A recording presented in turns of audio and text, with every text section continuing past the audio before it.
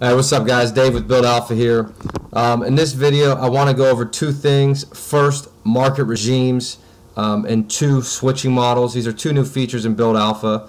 Um, so first, market regime uh, is defined by me, at least in my mind, as a condition or set of conditions that when true, alters the way the market behaves um, in comparison to how the market behaves when that condition or set of conditions is false.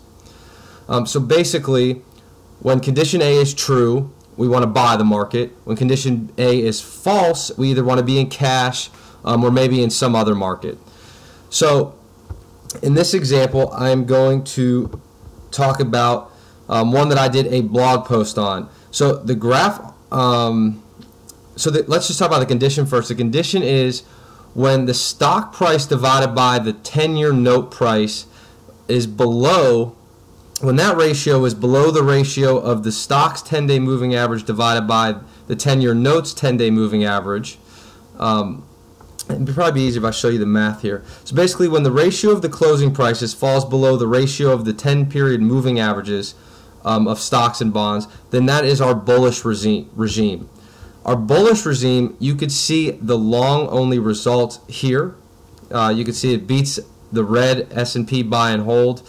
Uh, there's no financial crisis dip, at least to the magnitude um, of buy and hold. And on the left is if we were to only buy stocks when the condition was false.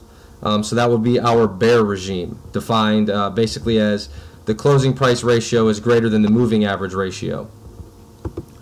Okay, so that is market regimes in a nutshell. Um, we have identified one when we want to be long, when our regime is true, um, our condition is true, and when we want to be out of the market. Okay, so now let's talk about what is a switching model. So a switching model is essentially whenever this condition um, that we've identified is false, instead of going to cash, can we switch into some other asset?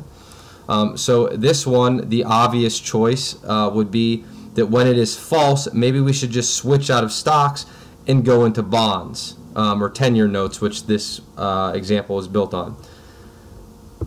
So that's exactly what Build Alpha allows you to do. So the graph on the left is the same as the graph on the right. However, the graph on the left, instead of going flat, um, it actually invests the cash in the U.S. 10-year note market um, or the bond market. So you can see we've increased performance by about 50,000 or 50%, and we've also smoothed the equity curve, this blue line out quite a bit. You could see the 08, there was a little bit of choppiness. Uh, here it's much more subdued. Um, so that is how we could take advantage of market regimes and use a switching model um, to smooth risk-adjusted returns um, and increase overall returns. Um, all right, guys, thanks.